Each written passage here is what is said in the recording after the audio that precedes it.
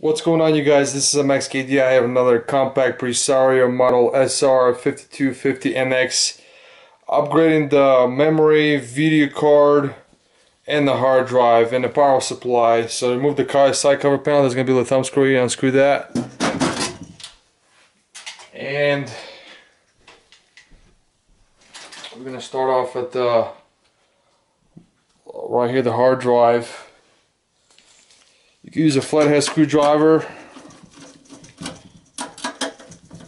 or you can use a Torx screwdriver T15 right here.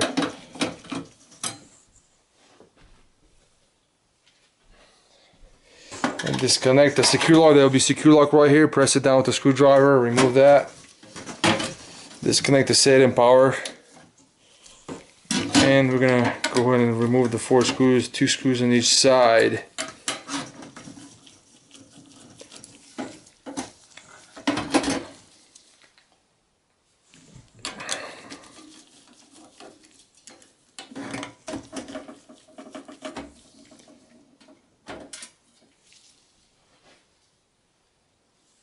And I'm gonna go ahead and upgrade the hard drive to 500 gig.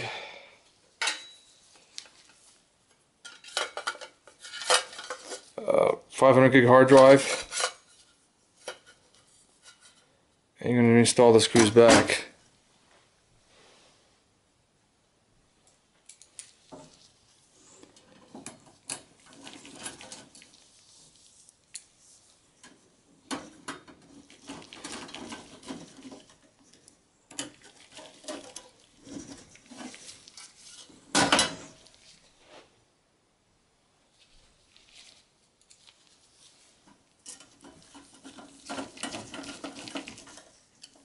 This one right here. Another one. This install the screw here. The total two screws on each side. One right here and then the other side.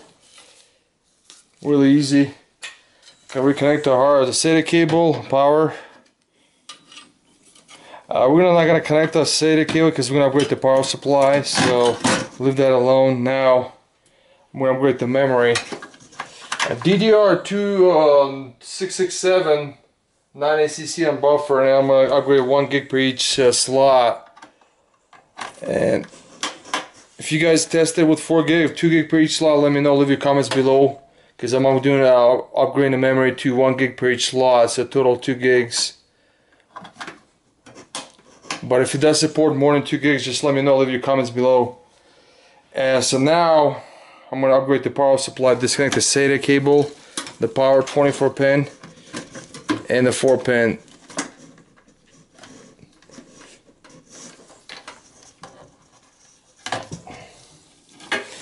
And there'll be four screws in the back with the use a Phillips screwdriver to remove that. Or and there'll be secure lock right here. On the bottom right here where the power supply is the secure lock you got to press it down with the screwdriver to release the lock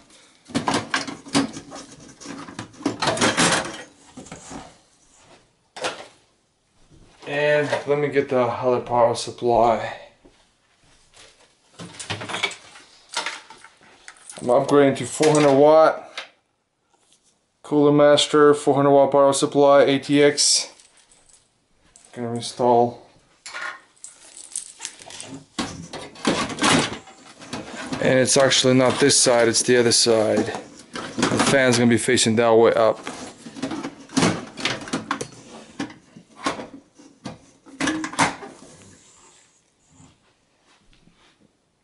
Now we reconnect the 24 pin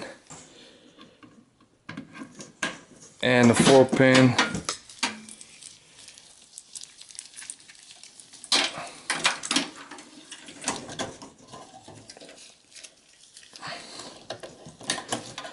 And we connect the SATA to the hard drive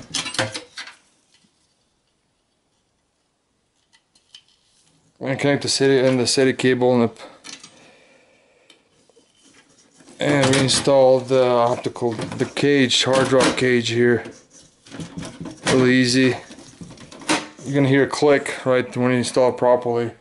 Now we would connect the optical drive.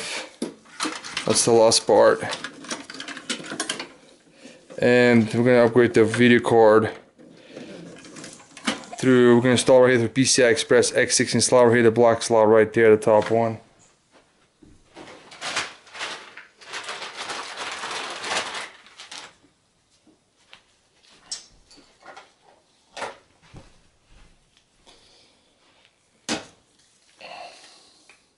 There will be a secure bracket right here in the little out right here the side.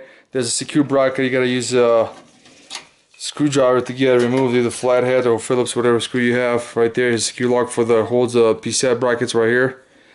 And we're gonna install the video card here, PCI Express X16 slot right here, the top one.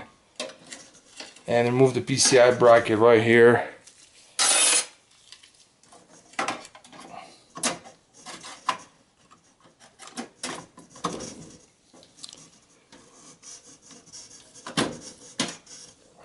Now reconnect the secure bracket right here.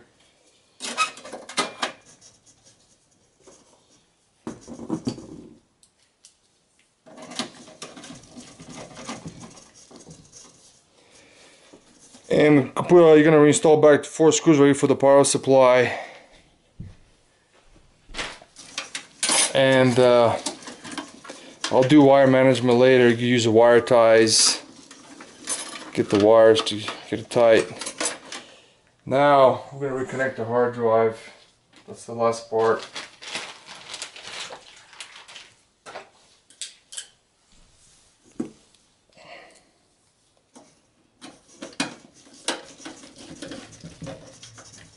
And